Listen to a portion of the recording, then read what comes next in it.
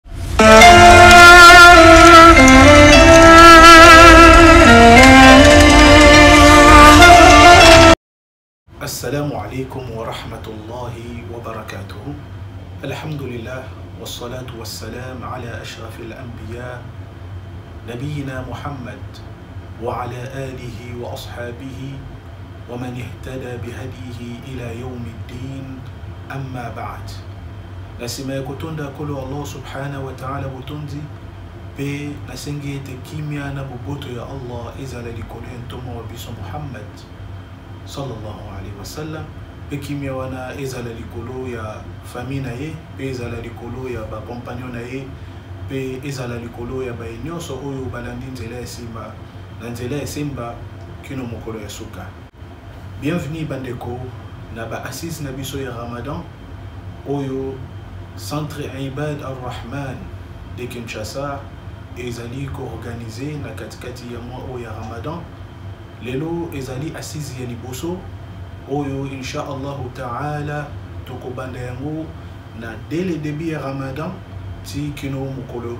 Ramadan ekokende na kosila, na katikati na yango tokolobela lolenge nini moto akosala carême na ye malamu. Donc tokolobela jurisprudence islamique na mai oyo etali jeune to mpe carême na katikati ya Ramadan. Na mokolo ya lelo, insha Allah, tokozwa mai ya liboso oyo etali intention to mpe ebengami na arabe aniya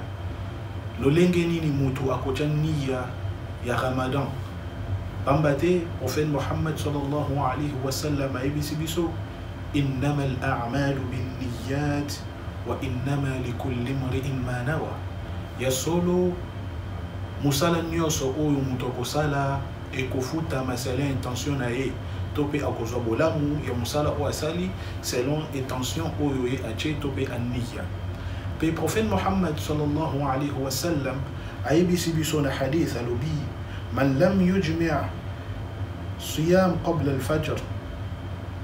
fala siyama lah mutu oyo akotya niya na ye ya ramadan to pe niye ya Karim na butu dès toza leo na butu tokobanda premier jour ya Karim ekozala lobi mutu oyo akotya niya na ye na butu te to pe akolala na niya te ke lobi ye azali kobanda Karim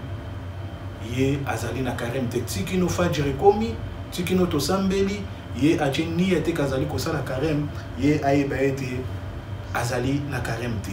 na yango na mai oyo ezali très important oyo ezali vraiment capital na musulman na yo ndeko musulman ozali kolanda ngai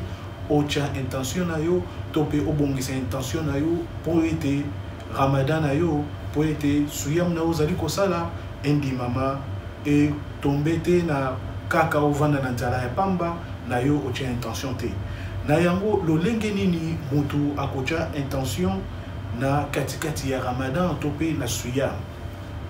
suyam ya ramadan ezali pilier parmi bapilier ya islam oyo esengeli na mutu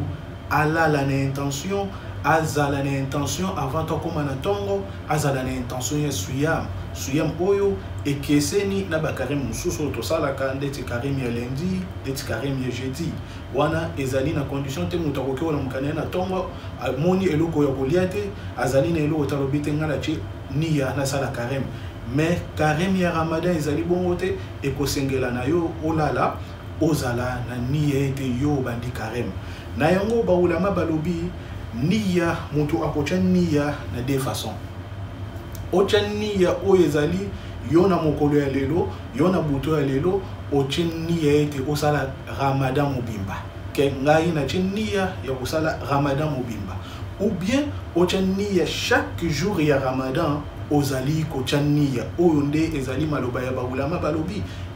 esengeli na motu chaque jour ya ramadan ozali kotya niya lelo otye niya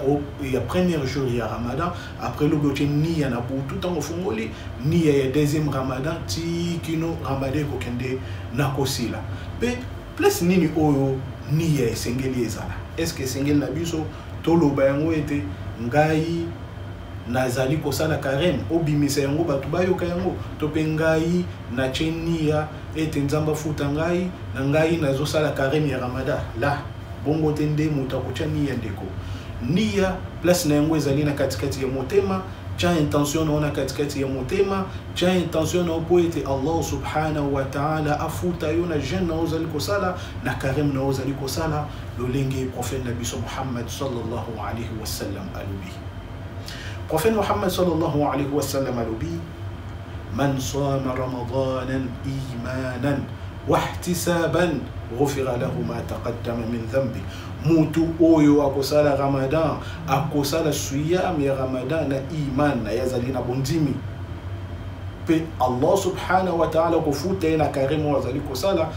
asali yango te mpo bato bamona ye asali yango te mpo bato bayeba ke ye asali kareme asali yango kaka mpo na allah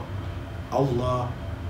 akolimbisa ye na masumu na ye eleki na oyo nde ezalaki mwa rappel ya mokolo ya lelo na biso toyeba ndenge nini tokotya niya na biso mpo ete tokota na ramadan na biso allah andimela biso ramadan na biso oyo tokoti na yango apesa biso makasi ya kotelema na butu ya kotanga coran